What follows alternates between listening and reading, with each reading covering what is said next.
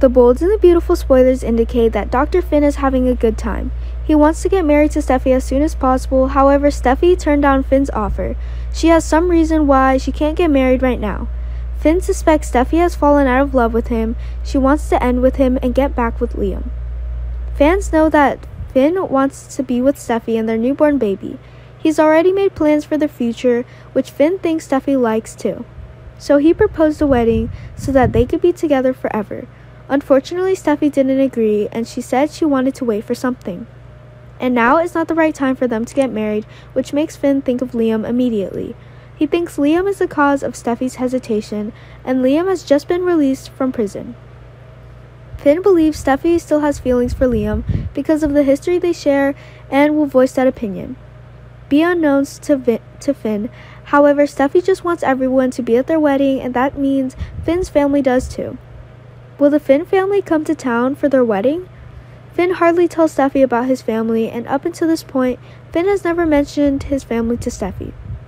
Now, suddenly, Steffy makes a request to see Finn's family before they get married. This is not unusual for Steffy, as she has been through marriage to Liam.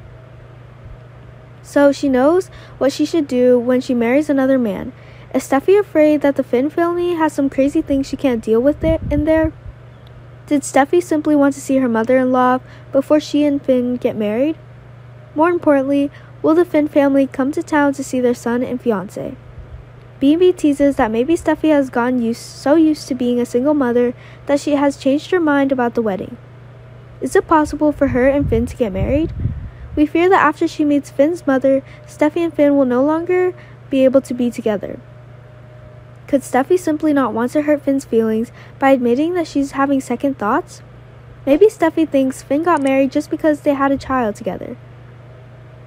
Have you thought about how marriage will affect your life? Is Finn so bound by paternity that he can't see the big picture? Luckily, Finn is loved by all of Steffy's family members who respect him very much. However, Finn and Liam are completely different. Steffy is afraid that in the future the two men will fight over the children. Is Finn right to believe that Steffy still has feelings for Liam at all? We have information that Steffy hasn't gone over Liam yet, and that Finn's mother is against the marriage, so there will be no wedding between Steffy and Finn.